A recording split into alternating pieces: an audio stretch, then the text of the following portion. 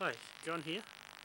I'm just sitting here having a little rest from my trip out to the rocks around the other side and I enjoyed my walk. For a long way.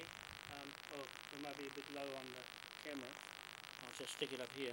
Um, but I'm just I made when I made the fire and um, Vix let us be around here. And I just wanted to watch the sun come up in the morning and take some shots. Um, I took some videos around the corner where the erosion is, a fair idea of that. But I'm going down to the council tomorrow, Gisborne District Council, to see Kerry. He's emailed all the uh, plans for the erosion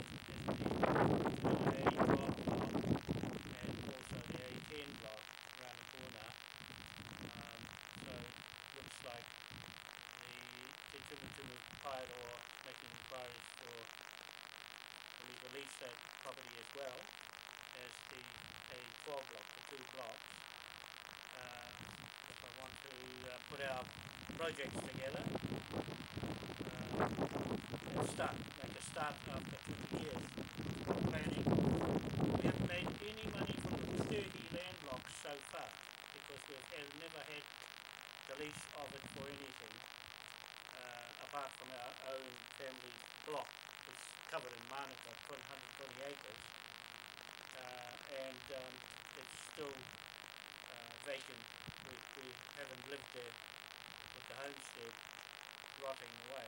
Um, so we're hoping to start, well I'm, I'm hoping to start uh, here uh, and Rangitukia, but this is um, more a better start um, because Rangitukia has a lot of erosion on the riverbed, massive amount of work to do to fix up the riverbed and a lot of expense to go into it. It's meant getting funding from somewhere.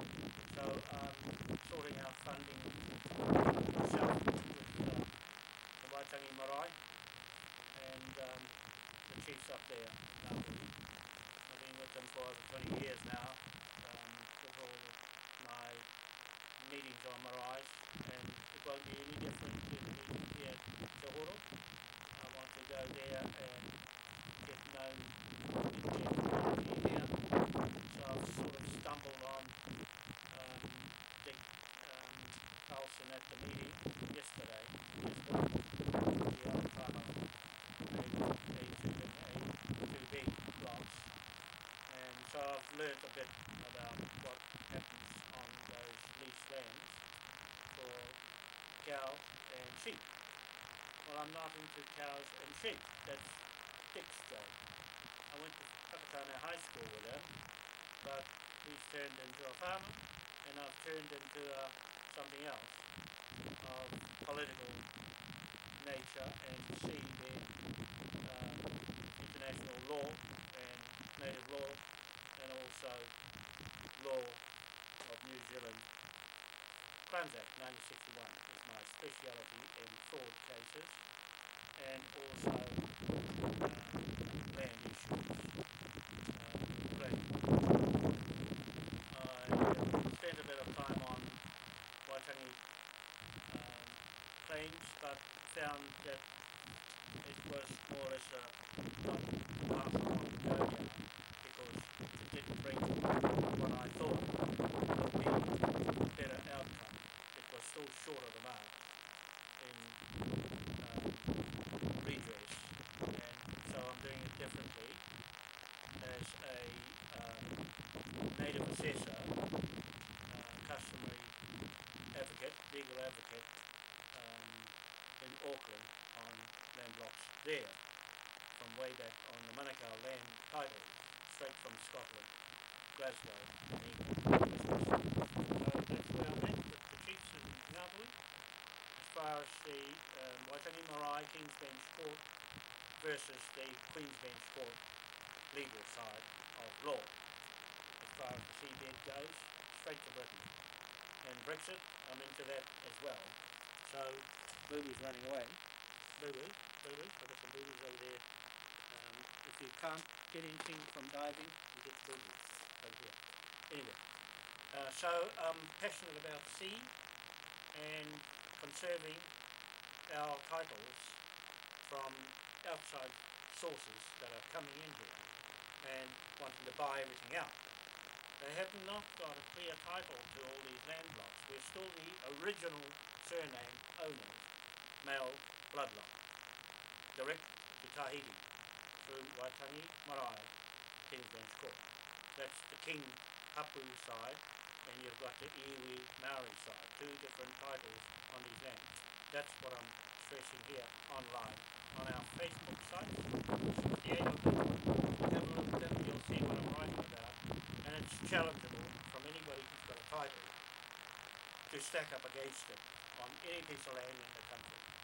And for the world for that matter, from King William IV flag on that cleared mortgage. Insurance, legal insurance. So that's where I'm coming from. Other than that, I'd like to have a dive one day and we've got a nice looking boat here with uh, uh, Dick and I take me for a ride one day with uh, Busby uh, Brown uh, and uh, the old guys know the rocks um, very well. I've got my pet rocks around the place, but that's in Purueta.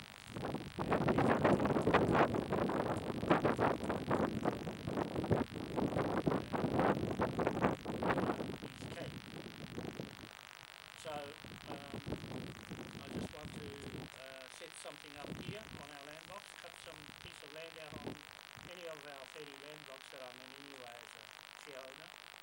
Uh, and we should have something to say uh, on the blocks the, the that started off the native titles.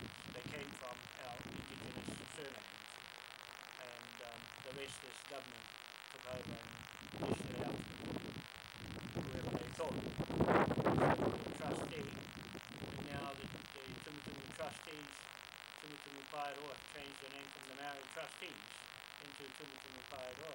I'm following that up, that's why I've gone along with them because they're there to adjudicate any um, uh, discrepancies or any arguments between landowners and those who are looking after land, physically looking after it, and those who are got ideas, like myself, have come in with ideas that um, uh, needs to get uh, on the right side of the local people.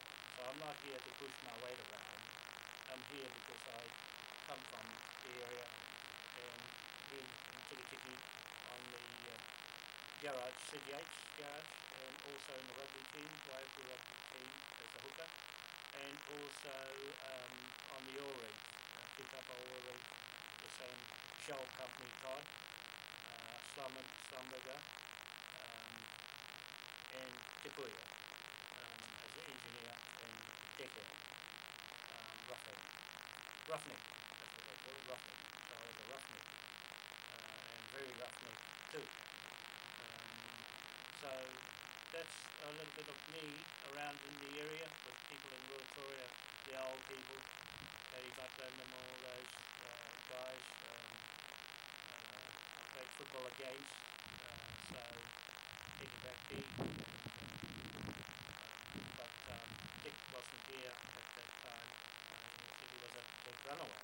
But here, he's, he's got himself on the land block, and uh, it's good to have him around because I can relate to him. I get frustrated. I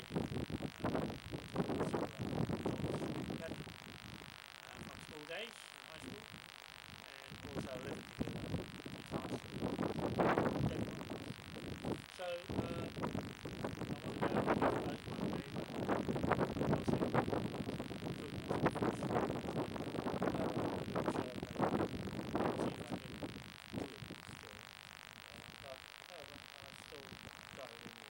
This video is just to let you know I'm here by the fire. And the business with the fire over there.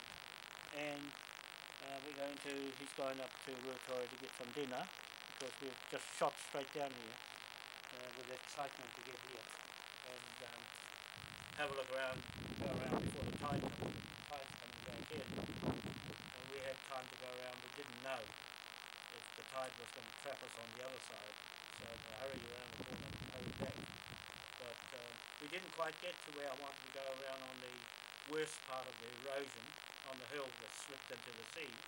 So that's my main focus with um, uh, with Kerry Hudson tomorrow. Uh, um, he's working part of the Tumutumu Whaiaro assessment of erosion from uh, District Council. So I'm working alongside them in any permits that are needed for whatever operations we do. And in retention of um, the land uh, with the erosion around some parts of uh, A12 I will tend to and uh, I'll have a lot of support from um, the ones here in the local area to get behind because my main focus is on the seabed and the tidal turbines for hydrogen power in the sea and deep sea fishing um, operations out there for the community here and for that land block to make it pay for itself while I'm there at least. And train people, divers, uh, my, my uh, interest uh, to police the seas and also uh, engineering, um, mechanics and um, whatnot with equipment uh, on site, um, uh, equipment to um, build things, build buildings and roads and all of that that I'm accustomed to on the engineering side and uh, also on the political side and um, land use. Then we fixed up all the troubles on the land who uh, slipped into the rivers. It's because the natives just was taken off and all the original um, indigenous trees was taken off um, the land and put pines on with short roots that didn't hold the banks together and cutting them down didn't help either. So all of that, uh, we've got some plans to, not to do any better, but to improve what we think um, in a new technology of um, where we're tending to be now to be um, up to play with uh, other models of land retention uh, and so forth. So not to here to be smart, we're here to be uh, helpful and uh, share of knowledge in what I think we can pass on to the next lot coming up. So that's all I'll say. Other than that, I'm talking a lot and it's windy. So I'm going to get put my boo-boos there, right there, and put them in a pot somewhere. Go and look for some water, cook it up, and sit by the fire. I'm going to sleep on this couch here, right? Sleep on the couch, and that'll keep me warm all night. I'm just drying my jacket over there, and I'm going to sleep in what I'm standing in over here. Look at that. Rough it up. Okay? And you have a look out there. There's a beautiful ocean. I'm going to go and take some photos in the morning. I'm here to take the sun rising in the morning. I hope it's going to be clear as this. It's been blue all day. It's been a beautiful day. And uh, you can see the, the tides on this side here is calm coming into this harbour here. That's the only entrance uh, Dick was saying that's flat when everything else, look at the breakers on the outside, breaking all the waves coming in, so the ship can come in. Not a big, big one, but enough to bring a load in. I'll make sure I can get it in, 80 footer. I, I had one all jacked up with the front and the back opening, but I'll have to look for another one now to come and bring steel in, uh, supply straight in on the shore uh, for our project, but it's still a long way off from where we want to go around the other side. And um, I don't know how that's going to happen, but anyway, that's better than going on the road. Just come straight down and uh, ship in. But I think once we get something going on the land and set up our base, then uh, we can get on with it. I want to get on with the uh, projects. Thank you very much, John Wanoa in Port Awanui. on the east coast of the North Island in New Zealand. That's the afternoon. It's about 3.30 on a Thursday afternoon. I don't know if you can see the East Island right in the distance, Whangaokeno Island. Right on the outside of the. And um, that block there's all got barnacles. You can see how it's holding up. It's got all its trees on, whereas these ones are chopped off and falling in the sea. Falling in. I think it's worse. It's worse around East Cape.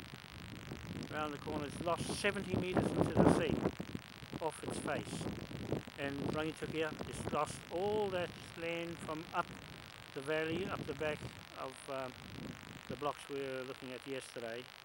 Uh, it's not as bad, Dick was saying it's not as bad there, it's further up the back where all the hills have fallen in. So that's us for today. We'll see you later. Bye for now. Go on. Yeah.